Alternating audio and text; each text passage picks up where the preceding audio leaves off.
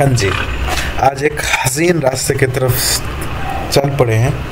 बहुत खूबसूरत है और सबसे बड़ी अच्छी चीज़ ये है कि ये जो आप देख रहे हैं ना, ये व्यू मॉर्निंग व्यू वाह ये एक लाजवाब है।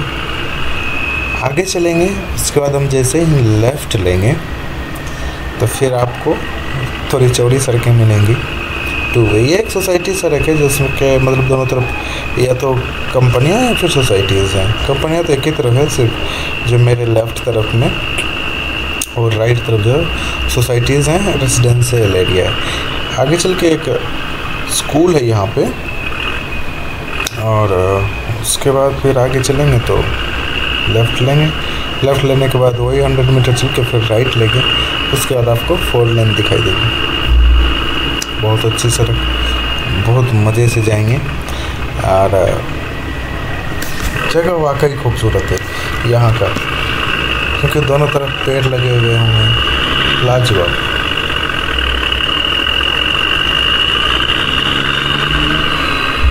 और, ये खिली खिली धूप थोड़ा थोड़ा अभी ठंड का थोड़ा सा आगाज़ हुआ है। तो इस बेनी बेनी सी मतलब कहते ना एक खुशबू आएगी एक, कहते ना, सड़कों पे। एक सेंधी सी नमक की, कहते ना, सेंधी सी मिट्टी की, क्योंकि वो अभी अभी कल रात बारिश हुई थी, और आज पूरा आकाश साफ़ हो गया। पॉल्यूशन जो कहते हैं, नहीं एयर पॉल्यूशन सब सब ख़त्म हो गया।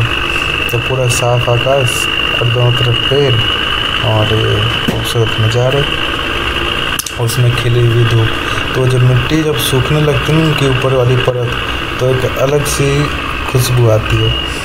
और मैं, पता नहीं, इस खुशबू का कहें तो मुझे बहुत ज़्यादा अनुभव, मैं इसका एक्सपर्ट रह चुका हूँ। जब मैं होम टाउन में था, मैं आज भी अगर उसको फील कर सकता हूँ, आज भी मैं याद करता हूँ, मुझे वो अगस्त का महीना, मुझे आज भी वो बहुत अच्छे से याद आ जाता है। वो लाजवाब लाजवाब भाई साहब वो क्या खुशबू थी वहाँ की। जब मैं फिर कभी अपने नानी के घर, कभी नानी के घर की अगर याद आ जाए तो आपको क्या बताऊँ? वहाँ की तो एक अलग ही स्मेल थी, एकदम पूरे देसी नींबू की स्मेल नींबू के बहुत सारे पेड़ थे वहाँ पे। और मेरे नानी का ये था कि वो नींबू की चाय पीती थी।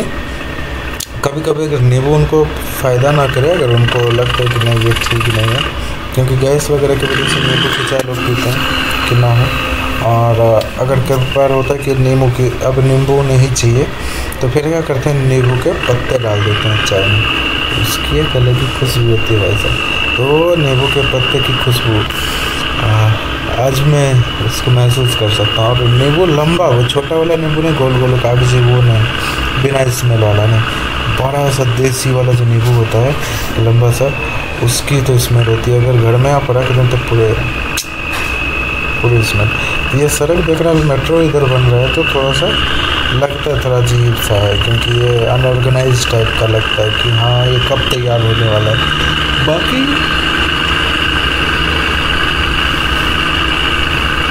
बाकी बहुत अच्छा है। है ना? बाकी अच्छा ये है कि अभी सुबह का टाइम है और ग्यारह बज गए हैं। तो इस वजह से क्या है कि यहाँ पे धूप जो है अच्छे से है और ट्रैफ़िक नहीं है। जब ट्रैफ़िक ना हो तो उसका तो मज़ा ही कुछ और होता है। तो बस ये आनंद लीजिए इतनी खूबसूरत सी जगह का और थोड़ा सा ये म्यूज़िक लाजवाब।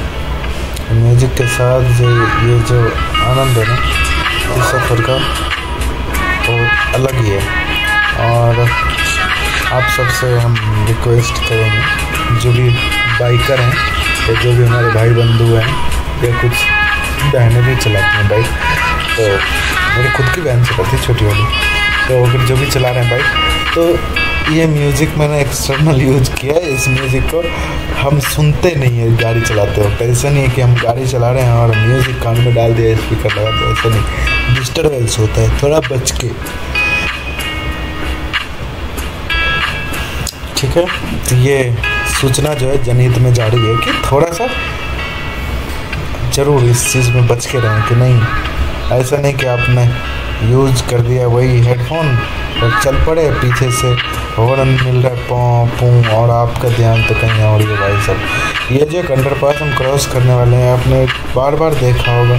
और मेरा उद्देश्य देख मैं इतना दिखा दूँगा आपको पूरा याद ही हो जाए, पूरे सड़क घर में बैठे बैठे और आपको पता लग जाए कि हाँ ये शहर कैसा है, क्या और सबसे बड़ी बात बताऊँ, ये जो मेट्रो भी बन रहा है इसका एक फ़ायदा है। जब बनते हुए देखेंगे ना तो ये आपको खुला खुला सीन दिख रहा है। जब मैं यही बी टी एम की तरफ़ जाता हूँ, बंद मैं, पहली बार मैं शुरू में गया था, फिर दोबारा जब गया, मैं खुद ही कंफ्यूज हो गया, मैं आया किधर? मेरे को पता नहीं चल रहा है है ना? बहुत अलग से दिख रहा था। अब देखिए मैं हनुमान जी का दर्शन कराता हूँ तो राइट में नज़र ऊपर कीजिए। ये वाह ये, अरे डिस्टर्बेंस ये देखिए, हमारे हनुमान जी वाह ये मेरे हनुमान जी यहाँ पे खड़े रहते हैं हमेशा। इसलिए खड़े रहता है ताकि वो देख कर दें कि हमारा कोई बच्चा एक्सीडेंट ना कर जाए। तो पता ही आपको, मैं हमेशा बोलता हूँ, रोड पे हनुमान जी का दर्शन हो जाए तो सबसे खुश नसीब हैं आप। और ना हो तो ये समझ लीजिए कि पता नहीं, आप शायद पाकिस्तान में भी हैं कि कहीं, और वहाँ पे भी रोड पे कहीं ना कहीं हनुमान जी की जो है ना, मिल ही जाएगी आपको। टेंपल है ना? क्योंकि एक्सीडेंट से बचने के लिए ज़रूरी है हनुमान जी। जय हनुमान।